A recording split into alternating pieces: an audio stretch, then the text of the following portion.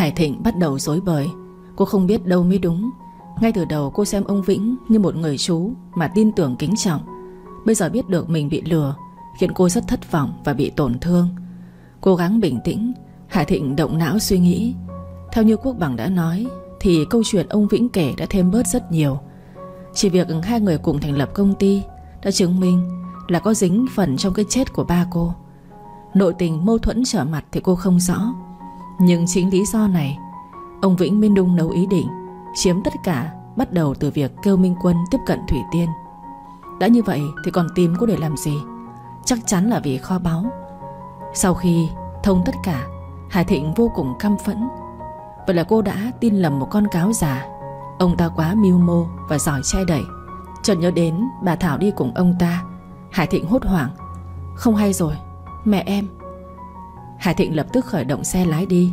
Bây giờ cô rất lo lắng cho cô, Cho bà Thảo. Cô sợ ông Vĩnh sẽ làm hại bà. Ngồi trên xe mà lòng cô như lửa đốt. Đang tập trung lái xe, Nhưng Quốc Bằng vẫn để ý đến Hải Thịnh. Biết tâm trạng của cô lúc này, Anh chấn an. Em đừng quá lo, Ông ta chắc là sẽ không manh động đâu. Ông ta là một kẻ mưu mô cáo giả. Nếu không, Sao có thể bịa ra câu chuyện hay đến thế? Biến mình thành một kẻ bị hại. Lại vừa là người tốt. Em quá ngây thơ mới thành con tốt trong tay ông ta. Hiện giờ, Ông ta vẫn chưa biết cái mặt nạ của mình đã bị vạch trần, Nên sẽ không làm gì tổn hại đến thím đâu. Mục đích của ông ta chính là bản đồ. Lòng tham của ông ta là không đáy. Việc mẹ đi cùng ông ta Chắc phải có âm mưu. Anh lái xe nhanh đi. Quốc bằng là nhanh nhất có thể.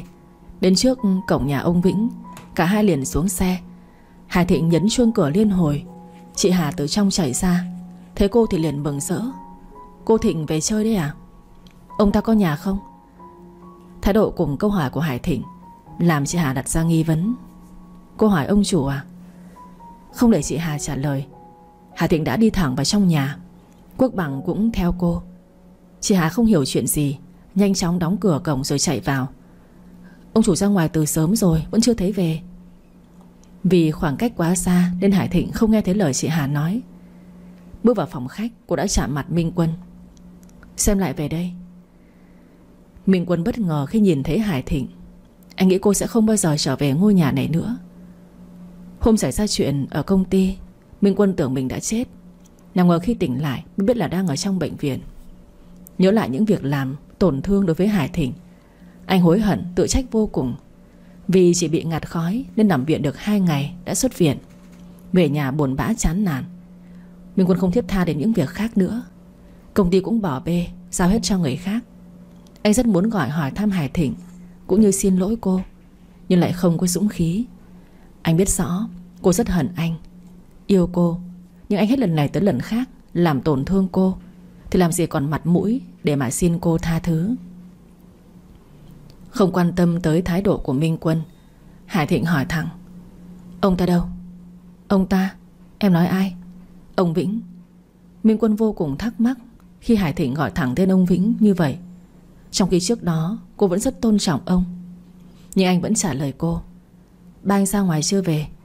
Em kiếm ba anh có việc gì không? Ông ta đưa mẹ tôi đi rồi. Ba anh đến gặp mẹ em sao? Cái đi rồi về thôi. Sao mà trông em lo lắng như vậy? Anh có biết ba mình đã làm những gì không? Minh Quân nhìn Quốc Bằng. Từ lúc nhìn thấy sự xuất hiện của anh trong nhà mình, Cùng với Hải Thịnh, Minh Quân vô cùng khó chịu, Nhưng vẫn cố kìm nén giữ bình tĩnh.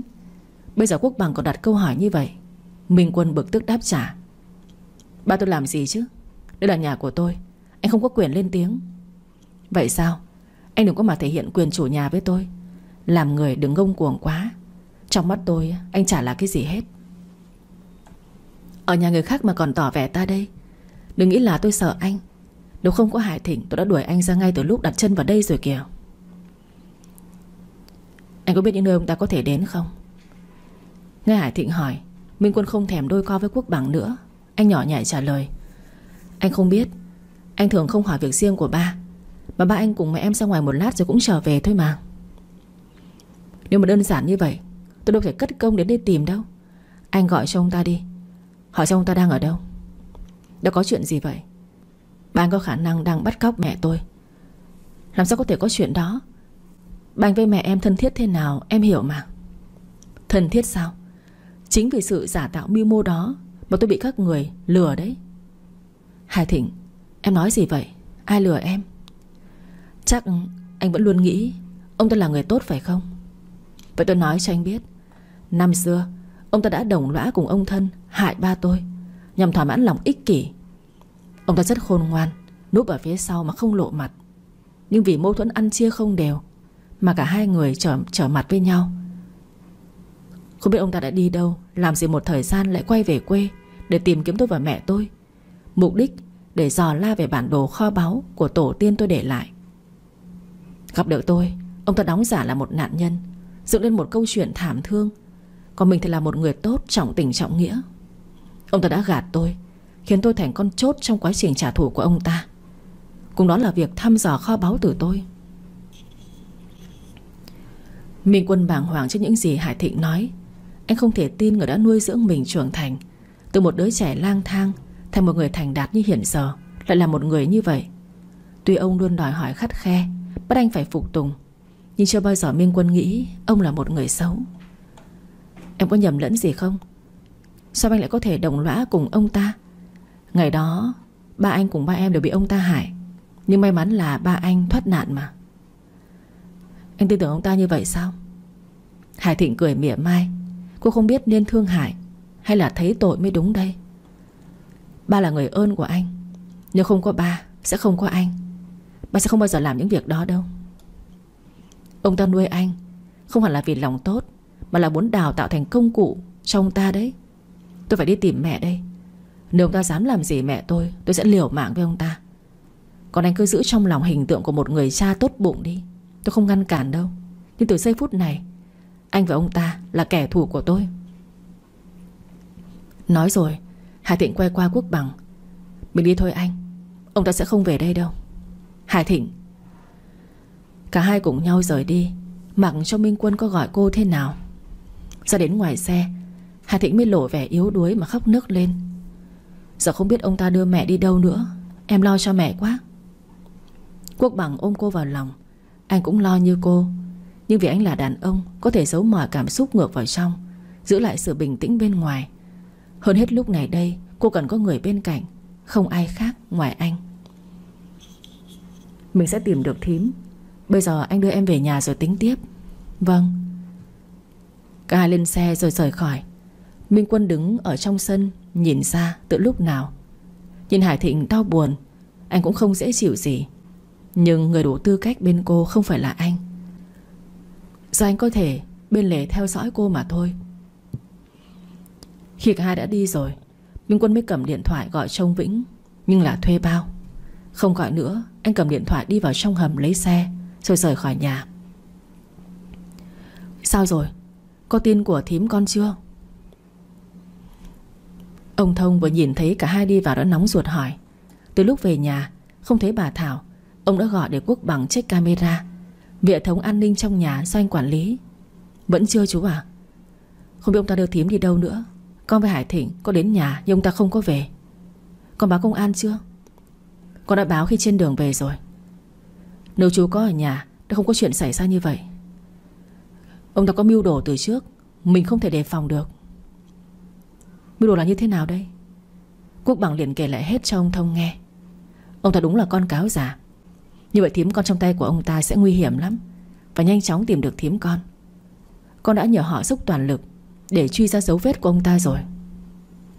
Bây giờ không thể ngồi nhà thế này. Em phải đi tìm mẹ. Hải Thịnh thấp thỏm, Chẳng khác nào ngồi trên đống lửa. Cô thả ra ngoài dù biết trong vô vọng. Còn hơn là cô ngồi một chỗ thế này. Em biết đâu mà tìm. Hãy ngoan nghe lời anh ở nhà với chú. Còn lại cứ để anh lo. Con nên nghe theo lời quốc bằng đi. Thằng bé có các mối quan hệ sẽ dễ hơn. Còn chú sẽ đi với con. Tuy ông Thông cũng lo không kém gì Hải Thịnh, Bề ngoài cố tỏ ra bình tĩnh như vậy thôi, Chứ trong lòng ông lúc này Không khác gì một lò lửa. Chú cũng ở nhà đi, Có gì con sẽ báo. Hạt rẻ cần có người lo. Lúc này ông mới nhớ tới hạt rẻ Hải Thịnh đang như vậy không thể để cho cô bận lòng về hạt rẻ nữa. Ừ Hạt rẻ đã có chú rồi. Còn chuyện của thím con cố gắng nha. Cô tin gì ấy báo về nhà liền. Dạ chú, vậy con đi. Trước khi đi, Quốc bằng đưa tay lau nước mắt trên gương mặt của cô. Lòng anh xót biết bao. Ở nhà chờ tin của anh. Anh sẽ tìm được thím về. Vâng Anh phải tìm được mẹ về nha anh. Hãy tin tưởng anh. Sau đó Quốc bằng rời khỏi nhà. Lúc này, ở nhà Quỳnh Thư cũng đang rối ren. Tấm thẻ bà Nhã cho cô Cất ở trong phòng, lại không cánh mà bay. Con tìm kỹ chưa? Hay cất ở đâu lại quên? Làm sao mà con quên được? Đó còn là một thứ quan trọng. Dù biết tấm lòng bà Nhã dành cho mình Và cả Hồng Sơn cũng đã nói, Nhưng Quỳnh Thư không muốn dùng số tiền đó để chi tiêu. Ngày cưới cận kề, Cô muốn gom những đồ quan trọng Lại để chung, Đến mới biết tấm thẻ đã không còn. Đã có người lấy trộm rồi. Ông thôn nhìn Hồng Sơn. Ông nghĩ không có khả năng này, Bởi vì nhà kiến cổng cao tường, Trộm khó mà đột nhập. Trộm thì ba nghĩ là không có đâu. Nếu có trộm vào nhà thì đã để lại dấu vết. Con không nói trộm ngoài, Mà là trộm nhà. Quỳnh Thư không ngờ anh lại có cùng suy nghĩ như cô. Từ khi biết mất tấm thẻ, Cô đoán ra người này là ai. Mà từ lúc xảy ra chuyện vẫn chưa thấy mặt bà ta. Dì Hường đâu mà nhà om sòm thế này mà không thấy mặt. Ông Thôn nghe vậy, Mới nhớ đúng là không thấy bà Hường đâu. Chắc là ra ngoài chưa về. Sắp đám con chuẩn bị nhiều thứ một tay, Bà ấy lo hết. Con cũng đừng nên ác cảm quá. Ba nghĩ vợ kế của ba tốt như vậy sao? Còn chắc chắn tấm thẻ của con, Bà ta đã lấy. Chứ không có ai vào đây cả. Quỳnh Thư, Sao con lại nghĩ gì Hường như vậy? Có mặt Hồng Sơn ở đây. Chẳng nào làm trò cười đấy. Anh ấy sẽ không cười, Nhưng sẽ đứng về phía con. Chỉ có ba là mê muội mà nghe lời bà ta thôi.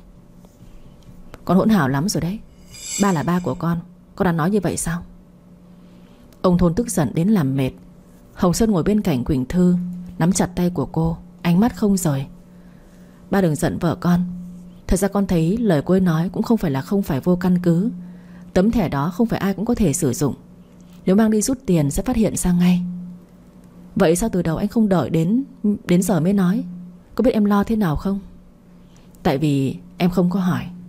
Anh Thấy mắt của Quỳnh Thư giận dỗi, Hồng Sơn đã sửa ngay lời lập tức. Anh nói đùa vậy thôi, Anh không lo kẻ trộm tiền lấy tiền trong thẻ, Mà đang chờ cáo tự lộ đuôi. Nhưng dường như từ đầu đã có ý định Muốn cao chạy xa bay rồi. Không phải là anh vừa nói Không tiêu được số tiền trong đó mà. Ừ. Nhìn điện thoại đổ chuông Hồng Sơn bất chợt nở ra một nụ cười khó hiểu. Cả đã xa lưới rồi đây. Cả Quỳnh Thư và ông Thôn đều cảm thấy thắc mắc Thì Hồng Sơn đã bắt máy. Không biết bên kia nói gì Anh chỉ đáp Tôi biết rồi. Đã bắt được người lấy tấm thẻ rồi. Là ai? Không ai khác vào đây Ngoài vợ của bà. Ông Thôn sửng sốt nhưng vẫn chưa tin. Sao bà có thể lấy được chứ? Không nhầm đâu ba. Bà ta bị phát hiện Khi đang thực hiện hành vi rút tiền. Nhưng tiếc là tấm thẻ đó hơi đặc biệt. Chưa rút thì đã bị tố cáo bà ta rồi. Đến lúc bị bắt vẫn còn ngơ ngác chối tội. Bàng hoàng, Ông thôn gần như bị sốc. Chuyện số nợ đã được giải quyết êm đẹp. Viện Hồng Sơn đã đứng ra giúp. Cứ nghĩ mọi chuyện đã xong, Nào ngờ giờ bà Hương lại còn lấy cắp tiền. Tại sao chứ? Bà có đối xử tệ với bà ấy đâu? Tất nhiên là vì lòng tham. Chuyện nợ ngân hàng con đã điều tra. Số tiền ấy thực chất bà ta lấy Chứ không phải là do ai khác đâu. Làm sao có thể? Không trách việc ba tin tưởng bà ta. Vì là người đầu ấp tay gối với ba mà. Ba có thật sự hiểu hết lòng dạ của bà ta thế nào không? Và bà có biết tuổi thơ của Quỳnh Thư Đã phải chịu khổ cực thế nào Trước một con người thâm độc cay nghiệt đó? Bà ta không hề yêu thương Quỳnh Thư Như vẻ bề ngoài bà ta thể hiện đâu. Quỳnh Thư chưa từng kể quá khứ của mình đã trải qua cho Hồng Sơn nghe. Manh anh lại biết lại còn thấu hiểu bức xúc cho cô. Thật sự không biết anh đã âm thầm tìm hiểu nhiều về cô như vậy. Sao anh lại biết? Quỳnh Thư không dám nói ra. Quá khứ như một cái gì đó ám ảnh. Nhớ đến khiến cô dấy lên nỗi căm hận mà thôi. Em là người anh yêu. Đương nhiên là chuyện của em anh phải biết. Anh sẽ bắt bà ta phải trả một cái giá đắt. Từ bây giờ đã có anh sẽ không để ai ức hiếp em. Vợ anh, anh thương, anh cưng Không biết bao nhiêu mới đủ. Sao lại để cho kẻ khác làm tổn thương chứ? Trong lòng đang xúc động Bây giờ nghe những lời này của Hồng Sơn Đã khiến cô phải bật khóc. Ngoài mẹ và chị Hải Thịnh ra Anh là người đầu tiên quan tâm bảo vệ em vô điều kiện như vậy. Ông Thôn nghe những lời cô nói mà tự hồn thẹn trong lòng. Ông tự thấy mình không phải là một người ba tốt. Còn vô tâm nên mới để bà Hường qua mặt đấn lướt như vậy. Giờ thì vỡ lẽ. Bà xin lỗi.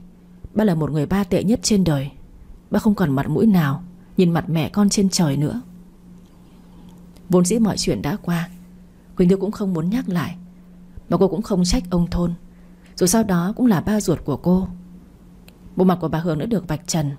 Nhà cô lại trở nên yên bình như lúc chưa có mặt của bà ta. Chuyện đã qua rồi. Con cũng nên quên đi. Nên ba đừng có tự trách, Còn bà ta sẽ nhận được cái kết thích đáng cho mình thôi. Ông Thôn vui mừng vì Quỳnh Thư không trách ông. Quỳnh Thư rất vui, Tất cả đều nhờ vào Hồng Sơn. Cô nhìn qua anh. Cảm ơn anh rất nhiều. Không cần cảm ơn anh, Chỉ cần hôn anh một cái thôi là anh vui rồi. Quỳnh Thư thẹn thùng mắc cỡ. Ở đây có ba đấy, Anh nghiêm túc chút đi. Hồng Sơn vẫn mẻ nheo. Anh nghiêm túc mà. Điện thoại của anh lại sao tiếp. Nhìn số người gọi đến, Hồng Sơn lập tức nhấc máy. Em đến liền. Không biết bên kia nói gì, Mà anh gấp gáp trả lời rồi tắt máy. Ai gọi anh vậy? Anh Quốc Bằng gọi. Báo mẹ của chị Hải Thịnh. Bị người ta bắt cóc. Anh phải đến xem thế nào. Em đi cùng anh. Vậy mình cùng đi. Cả hai chào ông thôn, xong thì đi ngay. Quỳnh Thư đang lo cho Hải Thịnh. Khó khăn lắm mới đoàn tụ với mẹ. Bây giờ lại xảy ra chuyện này. Suốt đường đi, cô liên tục cầu nguyện. Xin mẹ phù hộ cho mẹ Thảo bình an. Ở một căn hầm bí mật, Bà Thảo tỉnh dậy thấy mình bị trói. Bà đưa mắt nhìn xung quanh xem. Sau đó thì dừng lại ở chỗ người đàn ông đang đứng. Tay cầm chiếc vòng cổ mân mê, Gương mặt thâm sâu đáng sợ. Ông lừa tôi. Ông Vĩnh quay mặt lại. Nhìn bà Thảo cất giọng cười ghê giận Giờ bà mới biết thì đã quá muộn rồi. Nhớ lại lúc ông Vĩnh đến nhà, Bà rất vui vì tiếp đón Và mời ông vào trong nhà. Sau vài lời hỏi thăm, Ông Vĩnh đề cập đến chiếc vòng cổ. Chị cho em xem cái vòng cổ được không? Bà Thảo cảm thấy lạ. Chú xem phải làm gì? Trong chuyến đi định mệnh ngày đó, Anh bà phát hiện trên bản đồ có vài chỗ sai. Chính vì vậy mà mấy anh em đã mất phương hướng, Xém gặp nguy hiểm. Anh ấy tìm được chỗ sai đó và đánh dấu lại. Nhưng không may bị kẻ tham lam hại. Trong lúc đó, Anh bạn đã kịp đưa cho em bản nháp Để em may mắn thoát nạn. Sẽ đưa được cho chị Để hoàn thiện lại tấm bản đồ tổ tiên để lại. Vậy hả? Tôi không hiểu mấy cái này cho lắm đâu. Chờ Hải Thịnh về chú nói cho con bé biết nha. Em sẽ thảo luận với Hải Thịnh chuyện này. Nhưng bây giờ em muốn xem qua trước. Bà Thảo hoàn toàn tin tưởng, Nên lấy chiếc vòng cổ đưa cho ông Vĩnh. Chú xem đi. Hà Tĩnh với tôi cũng không quá quan tâm tấm bản đồ đó. Về đồ của tổ tiên, Nên giữ gìn thôi. Em hiểu. Ông Vĩnh tay cầm cái vòng cổ Mà khẽ run. Bao năm qua, Tốn biết bao nhiêu công sức, Bây giờ ông mới được chạm tay vào. Đôi mắt của ông lóe lên tia gian xảo. Em nhìn mãi mà không biết tấm bản đồ Làm sao mà cất được trong đây. À Nó nằm ở trong vỏ sò Chú mở ra sẽ thấy. Làm theo lời bà Thảo nói, Nhưng ông Vĩnh chẳng thể cạy được cái vỏ sò đó. Em mở không được. Đồ chú đưa đây xem nào, để tôi xem. Ông Vĩnh không có ý, Muốn đưa lại. Khó khăn lắm ông ta mới cầm được trong tay. Thứ mà ngay cả nằm mơ, Ông ta cũng muốn có. Nhưng biết bên trong chiếc vòng cổ, Có huyền cơ gì đó, Nên ông đành đưa lại cho bà Thảo. Chị xem có phải là nó bị hỏng gì không? Nhận lấy, Bà Thảo chỉ cần chạm nhẹ Vỏ sò đã tự mở. Ông Vĩnh giữ người khó hiểu. Tôi mở dễ mà, Sao mà nhìn chú khó như vậy? Chị cho em xem. Ông Vĩnh đưa tay cầm vỏ sò, Liền khép chặt lại. Ông trố mắt. Sao kỳ vậy? Này, tôi không biết. Mà tôi chú đưa lại tôi đi. Có gì đợi Hải Thịnh về rồi chú và con bé nói chuyện. Con bé hồi nãy gọi nó đến thăm em. Giờ chắc đang đã tới. Em có nói thăm chị, Rồi đưa sang chị luôn. Sau đó chị và cháu cùng về. Vậy là Hải Thịnh đến chỗ của chú sao? Dạ vâng. Giờ em đưa chị qua nhà em, Chưa cho biết nhà luôn nhé. Nghĩ là có Hải Thịnh Nên bà Thảo đồng ý. Vậy để tôi cất chiếc vòng cổ Và báo một tiếng với ở nhà đã. Chị mang theo luôn đi. Qua đó sẵn em và cháu thảo luận luôn. Tại vì em có công việc đột xuất, Phải xuất ngoại chậm trễ rồi em lại quên. Ừ cũng được. Bà Thảo nghĩ một lát rồi về. Nên không có gọi báo với ông Thông. Khóa cửa cẩn thận, Rồi bà lên xe, Đi cùng ông Vĩnh. Nhưng khi bà không đề phòng, Thì một cái khăn đã bịt lấy miệng của bà. Tích tắc vài giây, Bà đã không còn biết gì nữa. Ông bắt tôi đến đây là có mục đích gì? Tôi đúng là lầm khi đã tin ông là một người tốt. Ông Vĩnh cười lớn. Đâu phải riêng mỗi bà đâu. Con gái của bà cũng là một đứa ngu ngốc. Còn mục đích tôi đưa tới đây là để bà lấy tấm bản đồ này. Nhanh lấy ra cho tôi. Giờ bà Thảo đã rõ tường tận mục đích của ông Vĩnh. Tôi sẽ không mở cho ông. Hãy trả lại chiếc vòng cổ cho tôi. Bà không có lựa chọn đâu. Tôi đã hao tâm tổn sức biết bao nhiêu Để bây giờ mới có được nó. Nếu như ngày ông ta chịu giao ra Thì đã không gặp kết cục thảm thương như vậy. Ông nói như vậy là sao? Cái chết của anh Phi là ông làm sao? Nói đúng thì là tôi và ông thân làm. Sau khi tìm được khối long diên hương, Tôi với ông thân đã nảy sinh lòng tham. Muốn chia đôi, chứ không phải là chia ba. Đang đi ra ông ta sẽ không chết. Nếu chịu nói ra tấm bản đồ, Đằng này miệng cứ kín như bưng ấy, Nên phải chôn xác ngoài biển thôi. Bà Thảo gào khóc. Các người còn nhân tính không? Anh là anh em của các người mà nỡ lòng nào Các người đối xử như vậy? Tình nghĩa có mài gian được không? Sống mà cái nghèo của đeo bám, Tôi chán lắm rồi. Chỉ có tiền mới là tất cả thôi. Ông sẽ phải trả giá Giống như ông thân vậy. Trả giá sao? Sẽ không xảy ra với tôi đâu? Mà nói cho bà biết, Ông thân là tôi giết đấy. Ông ta nghĩ theo là thế nào mà muốn phần hơn chứ? Cùng bỏ số tiền như nhau để mở công ty. Nhưng ông ta lại tưởng bản thân mình là chủ. Cái loại người đó tôi thấy mình không thể đồng hành được. Nên ôm tiền bỏ đi, Tự tạo cơ ngơi cho riêng mình. Tôi đã quay về quê tìm mẹ con bà Để thăm dò tấm bản đồ. Nhưng tiếc là Hai mẹ con bà đã bỏ đi đâu. Tôi đoán là bà sẽ không quên ngày rỗ của chồng đâu. Cứ đến gần ngày, Tôi lại trở về để chờ. Tôi cũng gặp được con gái của bà. Tôi theo dệt một câu chuyện, Biến mình thành nạn nhân, Là một người anh em trọng tình nghĩa để nó tin tưởng tôi. Tôi dần dần đưa nó vào chồng, Nghe theo kế hoạch tôi văng ra Là trả thù ông thân. Ngoài nó ra thì thằng Minh Quân, Là đứa con mà tôi nhặt về, Đều cùng là con cờ để tôi sai khiến. Bà Thảo cảm thấy đáng sợ Khi thấy rõ bản chất con người của ông Vĩnh. Một con cáo già giỏi ẩn mình trong bóng tối.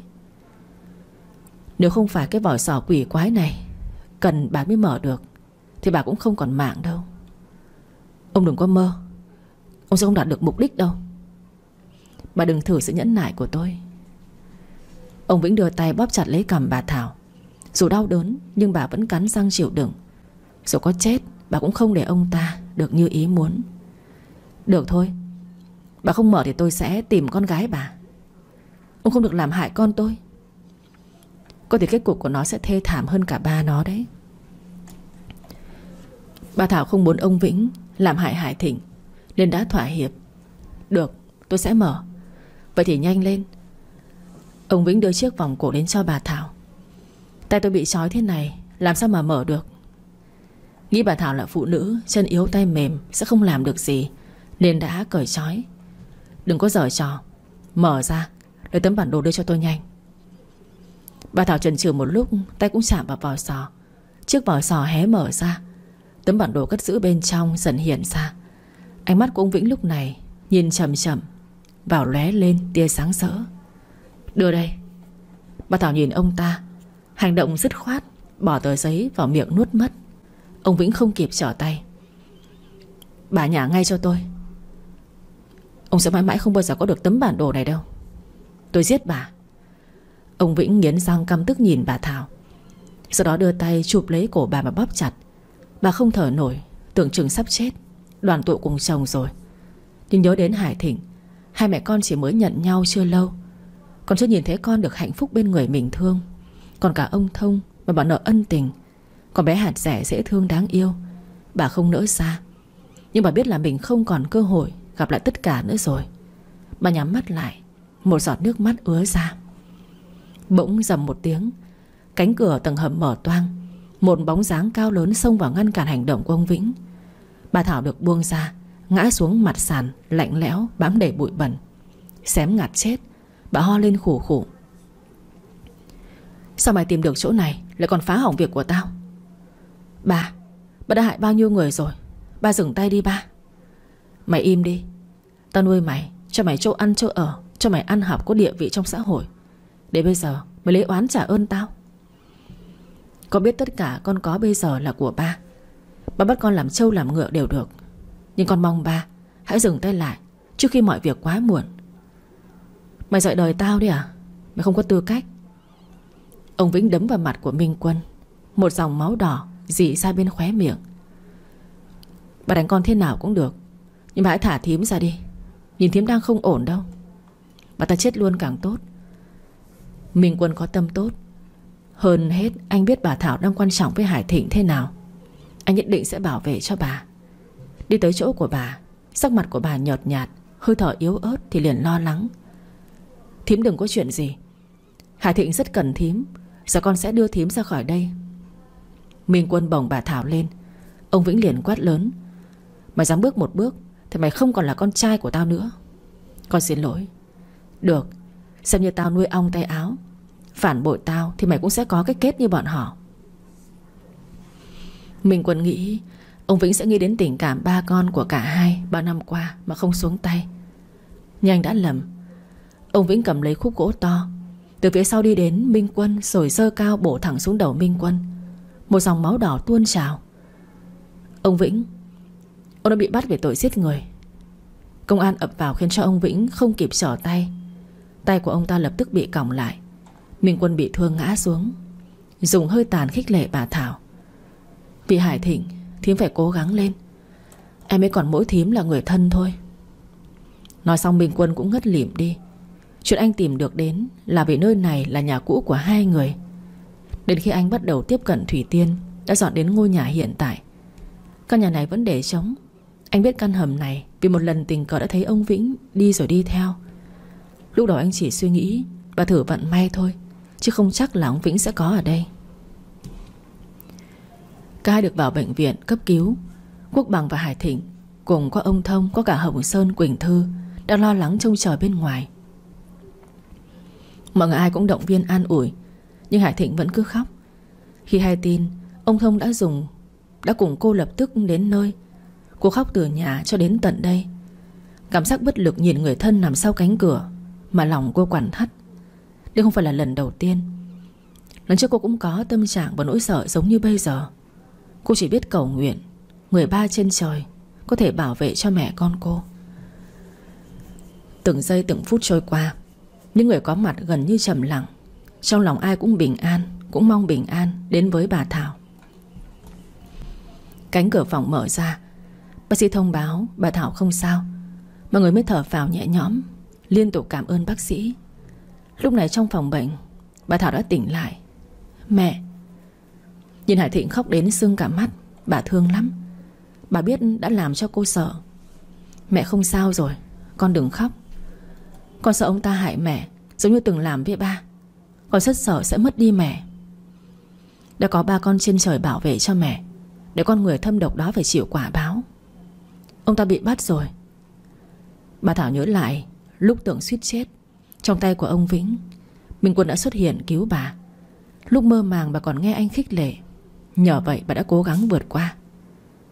Mẹ nhớ là có người cứu mẹ. Đó là Minh Quân. Anh cũng đang nằm trong bệnh viện.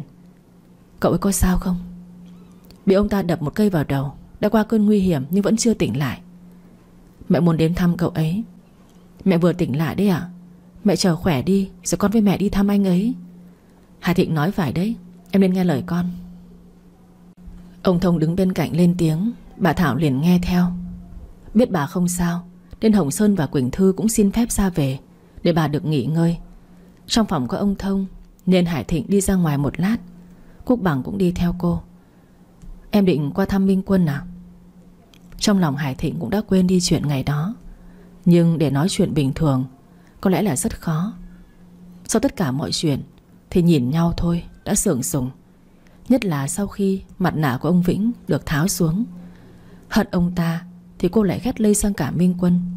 Nhưng bây giờ chính Minh Quân đã cứu mẹ cô. Dù thế nào, cô cũng phải đến Nói với anh một tiếng cảm ơn. Dạ Vậy anh đi cùng với em. Ông Vĩnh bị bắt, Một phần cũng nhờ Quốc Bằng và Hồng Sơn phối hợp. Dựa vào các mối quan hệ để cấp trên đích thân chỉ huy nhiệm vụ Truy bắt ông Vĩnh. Truy xuất tất cả camera, Có từ nhà ông Thông, Sau khi ông Vĩnh được bà Thảo rời đi. Dù ông ta khôn khéo đổi xe, Nhưng vẫn không qua mặt được các chiến sĩ công an. Lập tức tra ra khu vực ông ta dừng xe. Phát hiện ở đây, Ông ta có một căn nhà. Khả năng đây là nơi ẩn náu Cũng như giam giữ bà Thảo. Nên công an lập tức đến nơi. Quốc bằng được báo tin, Cũng đi tới đó. Đến nơi ông Vĩnh đã bị bắt, Còn bà Thảo và Minh Quân đều bất tỉnh Nên lập tức được đưa đi cấp cứu. Cả hai đến trước cửa phòng bệnh của Minh Quân. Hà Thịnh kêu Quốc bằng đợi mình bên ngoài. Cô muốn nói chuyện riêng với Minh Quân. Quốc bằng tôn trọng nên nghe theo cô. Mở cửa đi vào, Minh Quân trên giường bệnh vẫn chưa tỉnh. Hải Thịnh bước tới Cô cứ như vậy mà nhìn anh. Cô biết Minh Quân không hề xấu. Chỉ vì anh gặp sai người. Ông Vĩnh cho anh tất cả, Nhưng cũng biến anh thành tay sai. Rất may là bản chất lương thiện Đã giúp anh không bị cuốn vào tội ác của ông ta. Một lát sau, Minh Quân từ từ mở mắt ra. Trông thấy Hải Thịnh, Anh vô cùng bất ngờ. Trong lòng vừa vui vừa căng thẳng. Là em sao? Anh thấy trong người thế nào? Anh khỏe. Minh Quân muốn ngồi dậy, Nhưng Hải Thịnh đã ngăn lại. Anh vừa tỉnh, Anh cứ nằm nghỉ ngơi đi. Anh không nghĩ là em còn chịu gặp anh. Cảm ơn anh đã cứu mẹ tôi.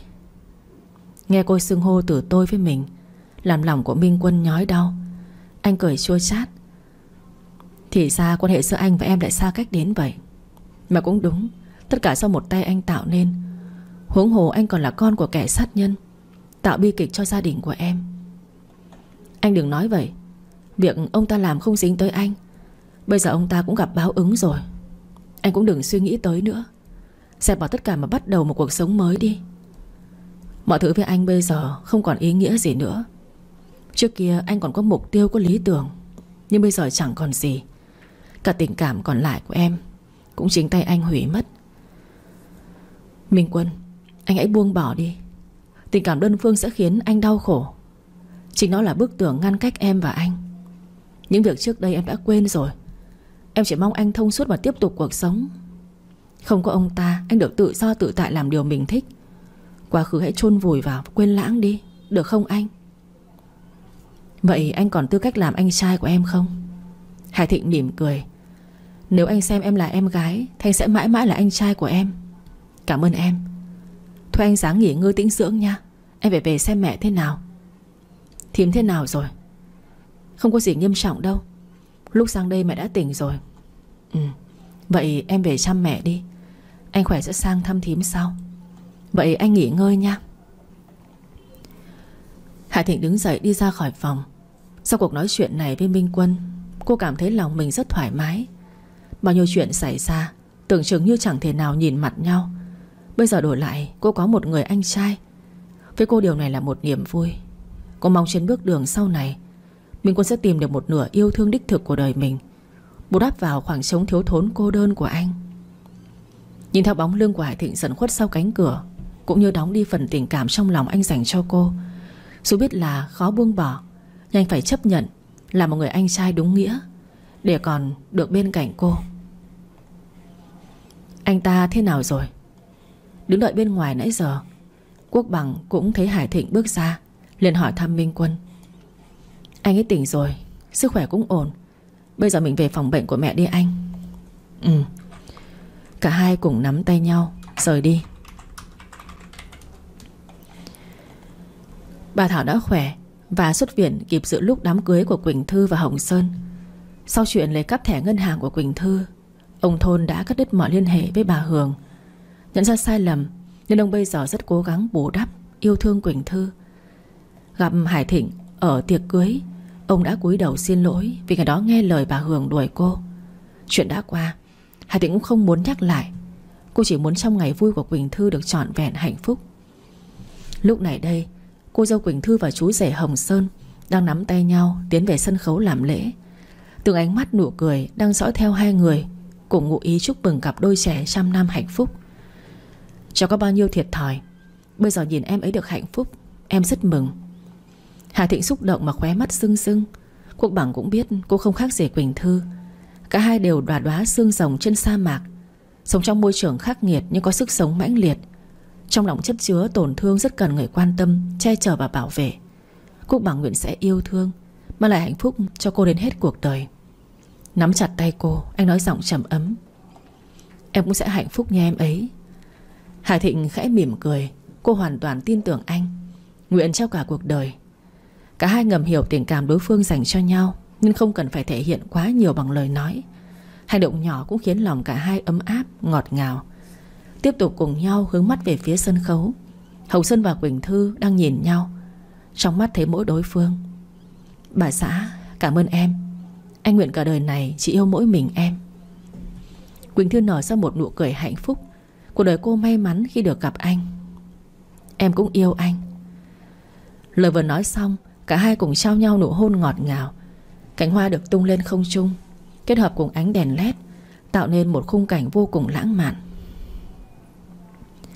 Gần sân khấu nhất, Ngoài cả hai còn có ba mẹ Hồng Sơn, Ông Thôn cùng bà Thảo và ông Thông. Còn cả hạt rẻ đáng yêu Trong chiếc váy công chúa Ngồi giữa hai ông bà. Tan tiệc, Hải Thịnh và Quốc Bằng đi xe riêng về nhà. Nhìn thấy không phải đường về, Cô thắc mắc, Anh còn đi đâu? Quốc Bằng cười cười, Bí mật. Hải Thịnh cũng không hỏi nữa. Đến nơi tự khắc cô sẽ biết.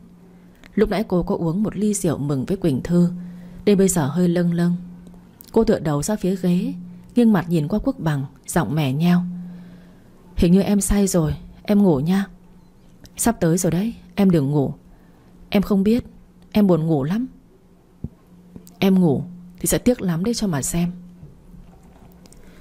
Cô hơi mệt nhưng Hải Thịnh chỉ giả đò xem phản ứng của Quốc Bằng mà thôi. Em không xem thì em đâu có biết mà tiếc. Anh sẽ nói. Hải Thịnh bật cười.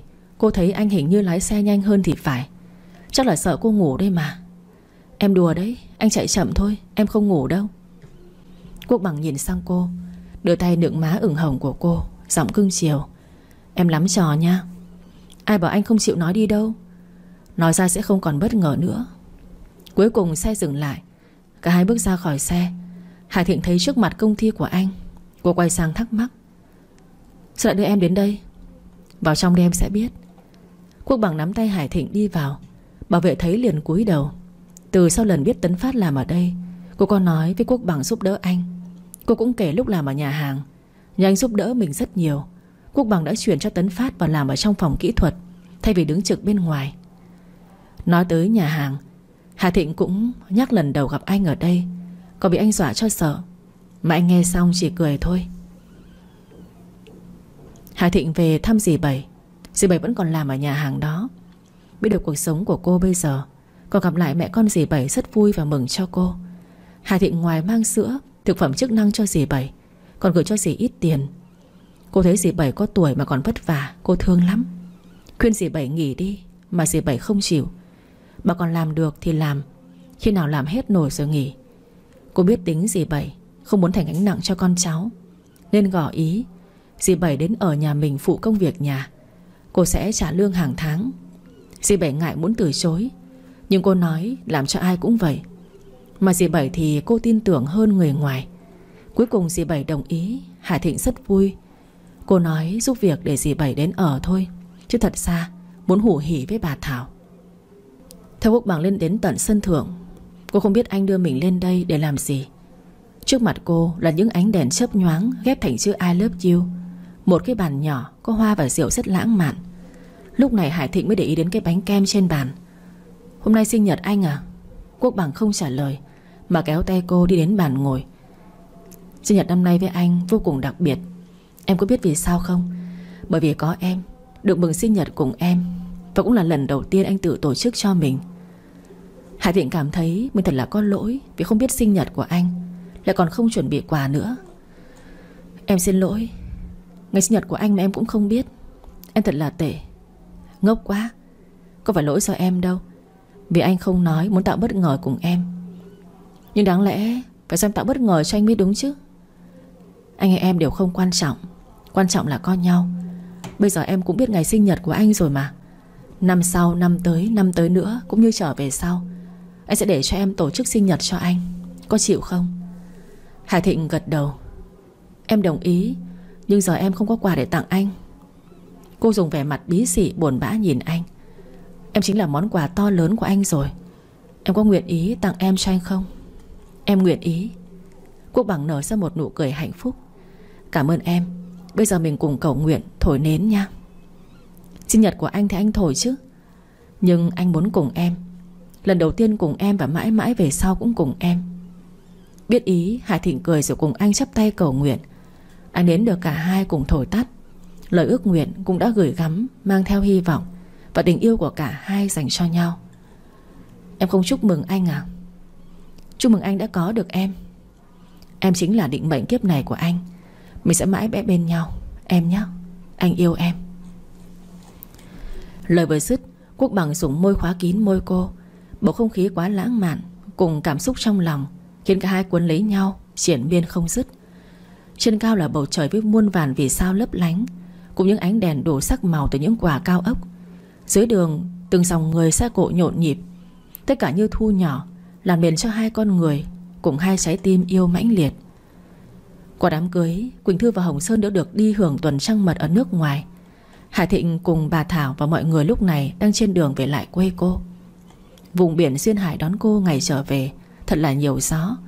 Cô vẫn nhớ đến cô bán nước Và chú xe ôm đã giúp đỡ mình Nên cô ghé lại mua nước. Lần này về việc chính là tìm chỗ xây lại mộ cho ba cô. Ba ơi, Con và mẹ về thăm ba đây. Ngoài ra còn có ba thông, Anh Quốc Bằng và cháu hạt rẻ nữa. Ba có vui không ba? Hải Thịnh bày đồ cúng rồi thắp nhang. Bà Thảo đưa tay lên chạm lên bia mộ bằng gỗ Theo thời gian đã mục nát. Bà biện diện xúc động. Anh ơi, Em về thăm anh đây. Em với con đã đoàn tụ cùng nhau. Có phải anh đã trên trời phù hộ cho mẹ con em không? Em thật tệ, Đã bỏ anh lâu như vậy mới về. Nói rồi bà khóc. Hải Thịnh ôm lấy bà. Bà sẽ hiểu không trách mẹ đâu. Anh yên tâm, Tôi sẽ chăm sóc cho Thảo và Hải Thịnh. Ông thông trước di mộ của ông Phi Đã thầm hứa là sẽ lo cho hai mẹ con Hải Thịnh. Con mau xá ông ngoại đi. Nghe Quốc Bằng nói, Hạt rẻ ngây thơ hỏi, Đây là ông ngoại hả ba? Ừ Con nói ông ngoại phù hộ cho con, Mạnh khỏe học giỏi nhé Dạ vâng. Hạt rẻ chắp tay trước mộ ông Phi, Ông ngoại ơi, Con là hạt rẻ đây, Con sẽ chăm ngoan học giỏi. Hải Thịnh cầm thảm ơn anh, Vì để hạt rẻ kêu ba mình là ông ngoại, Lúc ba mất cô vẫn còn nhỏ. Có thể ông mong nhìn thấy cô lớn, Lấy chồng có cháu, Gọi bằng ông ngoại lắm. Tức là tất cả đã không được thực hiện, Chỉ vì những kẻ tham lam độc ác. Thăm mồi xong, Bà Thảo cùng ông Thông và rẻ về khách sạn trước. Hải Thịnh và Quốc Bằng Cùng nhau đi dạo trên biển. Cô hướng mắt nhìn ra phía ngoài biển xa. Cô chỉ tay tự hào nói, Ba là một ngư phủ giỏi nhất.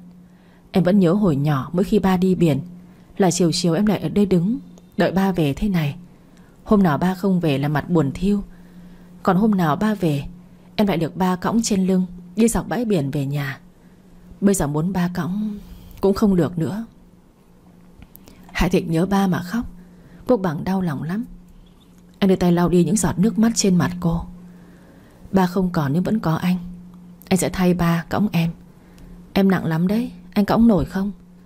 Em xem thường anh đi à Anh khỏe lắm. Giờ em cứ lên thử đi. Quốc bằng ngồi xổm xuống kêu cô lên. Hà Thịnh sợ nặng, anh mệt. So sự nhưng anh đưa tay kéo cô xuống. Cuối cùng cô cũng ngồi lên lưng của anh Để cõng. Tự nhiên anh hô lớn. Ba yên tâm ra con gái của ba cho con. Con sẽ lo cho cô ấy thật tốt, Cho cô ấy hạnh phúc. Yêu cô hết cuộc đời. Hà Thịnh, anh yêu em. Hải Thịnh cảm động đến rơi nước mắt. Cuộc đời từng đối xử khắc nghiệt với cô. Thì bây giờ bù đắp lại cho cô một người đàn ông tốt, Yêu cô đến nhường nào.